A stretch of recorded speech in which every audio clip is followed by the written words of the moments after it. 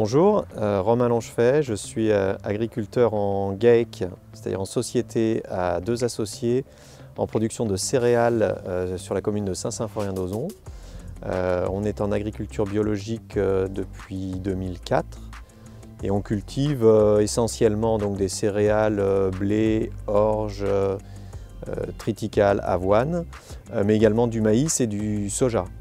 Euh, l'essentiel de la production est dédié soit euh, à la consommation humaine, un petit peu à la consommation animale, et puis euh, également à la production de semences pour les céréales en particulier, de semences donc, qui seront réutilisées l'année suivante par d'autres agriculteurs pour être ressemées sur des exploitations bio.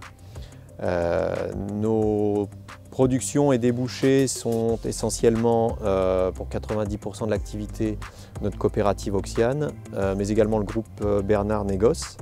On a également 10 à 15% de, notre activité orientée sur des débouchés farine et pâtes, vente en magasin de, producteurs ou épicerie bio.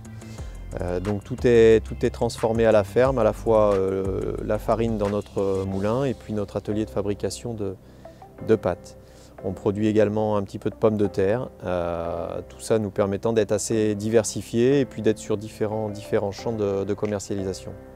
N'hésitez pas à poser vos questions dans les commentaires de la vidéo et j'y répondrai vendredi.